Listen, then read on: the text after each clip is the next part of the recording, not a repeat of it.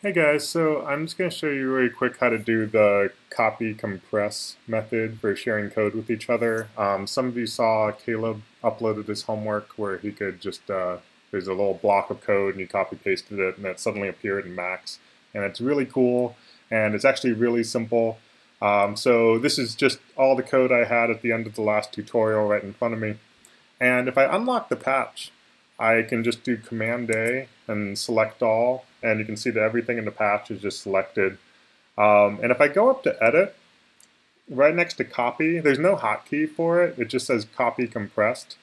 And if I just do that, um, then essentially, if I just bring up like a text edit right here,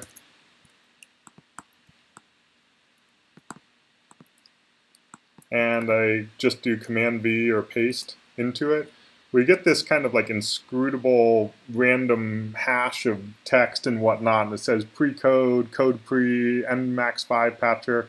Um, the max 5 thing, it doesn't mean anything. I think they just made this back in max 5 and they've never bothered to update that part of it. It'll still work fine. They'll still do it as max 7. Um, but now, if I get rid of this, like I don't save it, oh no, what have I done? But I could send this to you as um, just this part of code, and now if I just copy that, and you want you want to get all of it, you can basically go from that pre uh, part right here to the um, backslash pre, and just copy that. And then you see, need to say, um, or if I need to get Max open here, I go Max file new from clipboard, and it'll literally open up the whole patch for you. Uh, and it's a little bit like um, it's like any other patch you open now. It's not going to save the values here or anything. But just a nice, simple way for us to share code with each other through um, uh, what you may call through email or whatnot. I've already had a few of you send me patches this way. Uh, if you go to the Cycling74 website,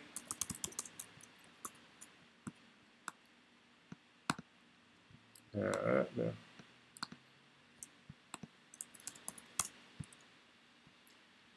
a lot of people share code this way. I don't think you can, it's harder to upload files in this, but I bet if I just, okay, like sharing, a lot of people that share patches, they put that in the title of it. And you can see it actually, actually did that right here. It says pasted Max patch, click to expand, and I can just copy paste that part right here and go new from clipboard.